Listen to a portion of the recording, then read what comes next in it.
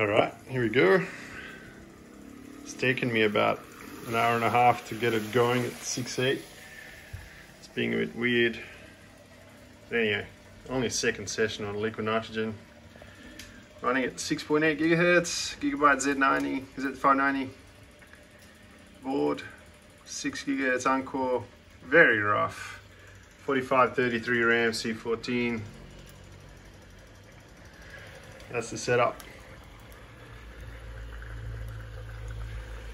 So the current world record is with a 10900K running close to 7.5 gigahertz. And we are just about matching that efficiency with only 6.8. And this is also with Windows 10. So, and not really tweaked. So the RAM timings aren't really tweaked. Only primary timings were set as well. So lots more in it, but how amazing is this new CPU? It's absolutely crazy.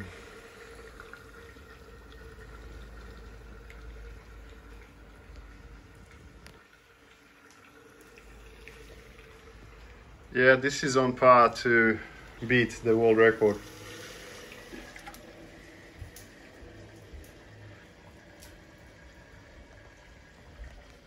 I'm not planning to you know, make fuss of it or anything, just put it on Facebook, but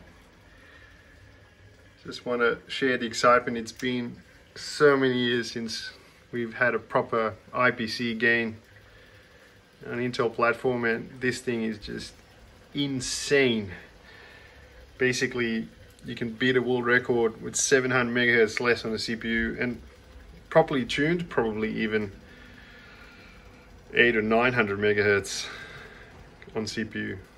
Absolutely insane.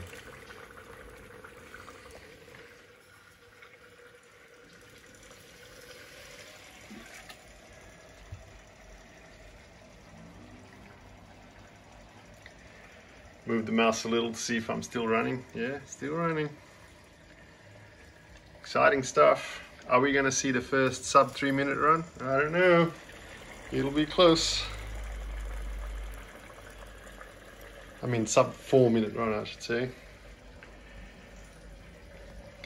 I'm using the uh, Kingpin T-Rex and um, it's running full pot obviously. Uh, mine's 187 degrees. Using some Galax memory. This is single-sided Samsung B-die memory. Here we go. The moment of truth. Where are we at? Yep, and this is the world record. The, the Comet Lake world record was 4 minutes 1 point something 7 I think seconds. So this is just beating it by over a second. How good is that?